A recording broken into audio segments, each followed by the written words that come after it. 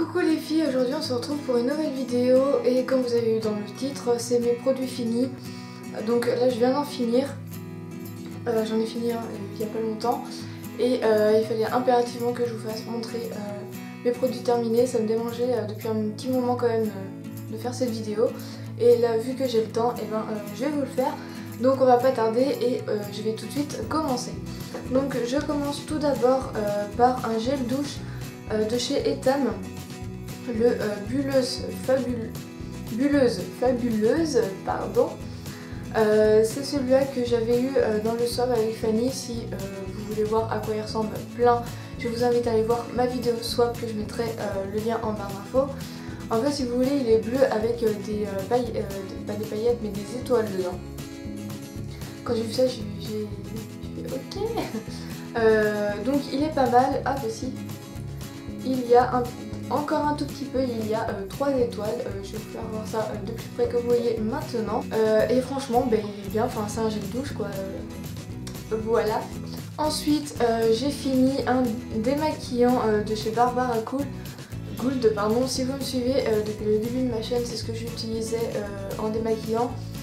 Et il me convenait, mais jusqu'au moment où j'ai vraiment changé tout, mon maquillage, où changé ma technique de maquillage et tout, où j'ai mis plus euh, de fond de teint, anti-cerne, euh, mascara waterproof, vraiment beaucoup de fard à, beaucoup de paupières entre parenthèses. Hein. Plein de trucs comme ça et il me, il me convenait plus du tout. Il démaquillait vraiment très très mal donc j'ai quand même réussi à le finir. mais voilà, pour les filles qui mettent pas beaucoup de maquillage, qui mettent pas de, de maquillage waterproof. Euh, je vous le conseille quand même, il est plutôt pas mal. Donc euh, voilà. Ensuite j'ai fini une crème hydratante de chez Nivea que vous voyez euh, là maintenant. qui hydrate très très bien, mais je, je l'ai fini. Elle date depuis un petit moment et comme vous pouvez le voir il m'en reste encore et elle a séché, enfin j'ai perdu quoi. donc voilà, l'odeur est plutôt pas mal et comme je viens de vous le dire elle hydrate très très bien. Les crèmes Nivea, euh, je vous les conseille parce que c'est vraiment euh, une pure tuerie ces petites choses là.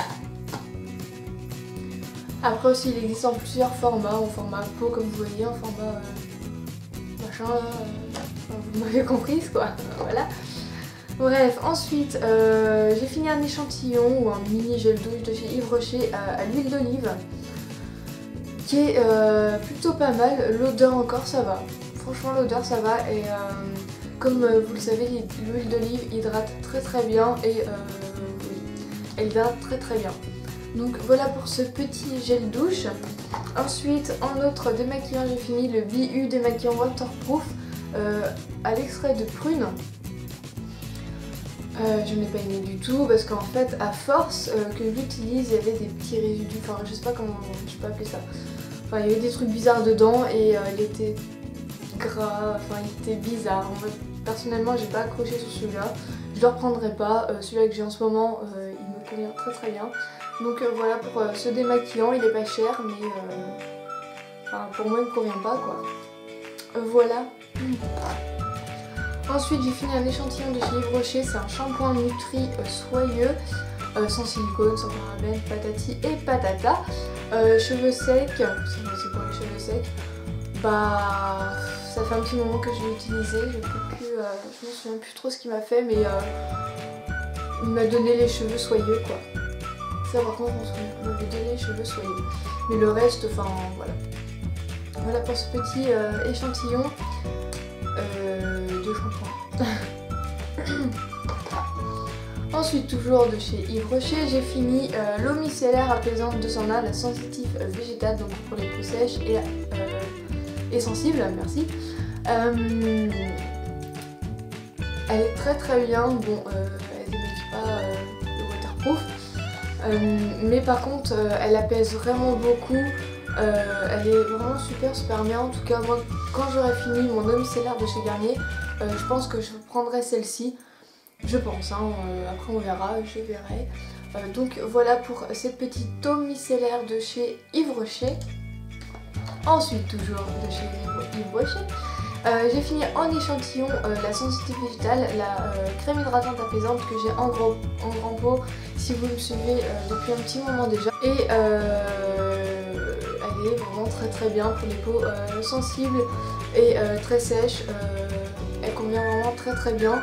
Ensuite, j'ai fini mon anti de chez Yves Rocher, je l'ai repris hier.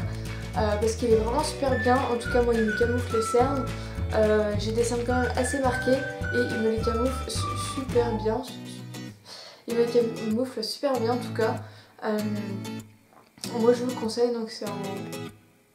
C'est voilà, c'est en truc là on fait ça.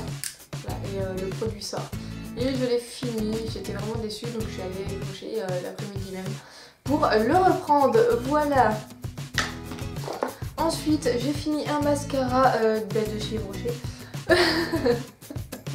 je ne suis pas au partenariat avec Brochet, c'est juste que j'adore cette marque. Et c'est le Luminel Mascara Ultra Volume, je sais pas si le vend tout le temps, je crois pas.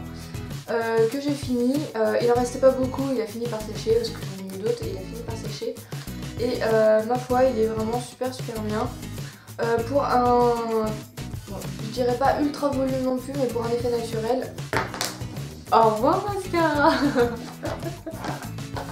Pour un effet euh, naturel, il convient euh, très bien. Ensuite, on passe à un autre mascara, toujours de chez Yves Rocher, et ça, ça a été mon chouchou pendant des mois. Euh, c'est le mascara volume déployé. Il est... Il avait vraiment détourné tout ce que j'avais pu tester en mascara. Il est vraiment super bien, il fait un volume déployé, comme ça dit dessus. Et il tient vraiment son nom. Euh, son prix est quand même assez cher, 15 euros et des je crois, pour euh, ce petit, euh, cette petite merveille.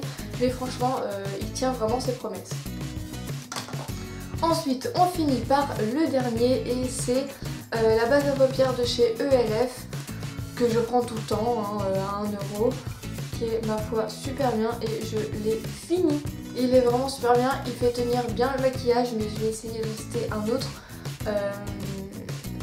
parce que euh, pour tester autre chose, quoi, pour voir s'il y en a un autre euh, qui détourne celui-là. Donc voilà les filles, la vidéo est terminée, elle n'a pas été longue, euh, je vais pas mettre non plus 10 000 ans sur un produit.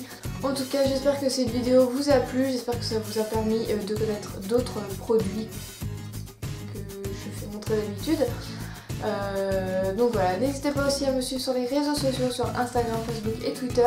Et Snapchat aussi, je le mettrai bien sûr en barre d'infos maintenant. Parce qu'avant je le mettais parce que je avais pas, mais maintenant je sais comment on l'utilise. Donc voilà Et n'oubliez pas aussi que j'ai fait un concours spécial 500 abonnés sur ma chaîne. Donc n'hésitez pas à aller voir, elle se finit le 26 mars à 18h.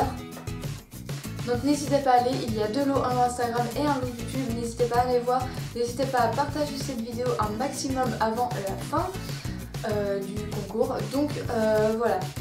Sur ce, je vous fais plein plein de gros bisous et on se retrouve pour une prochaine vidéo. Bye